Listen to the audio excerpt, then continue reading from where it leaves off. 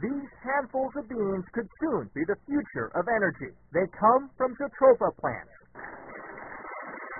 Once the machine presses the beans, the oil that comes out is collected in jars. It's called biodiesel fuel. It's clean and renewable.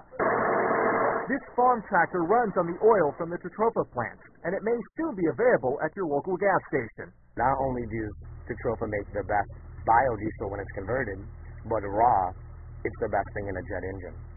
Farming Biodiesel Incorporated, FBI Farms for short, is in Desert Center, 50 miles east of Indio. Farmer Mike Reardon works here with the dedication of a man with a goal to grow his operation into a major player in green energy. That dedication means 18-hour workdays. Reardon hopes this is more than a future moneymaker. He sees this as part of a philosophy. Little goes to waste here.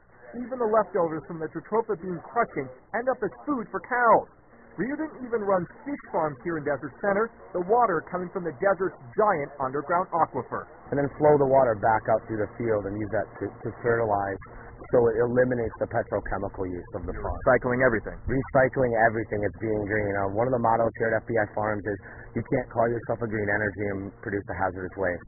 And that abundant water is part of Reardon's secret of growing Jatropha in the desert. He's discovered flooding it in water in this heat makes the plants grow quickly. This is the next step to get us off of foreign oil and clean our air. This farm is something of an experiment. A handful of Jatropha beans ending up looking more like slime now competes to be the future of green energy.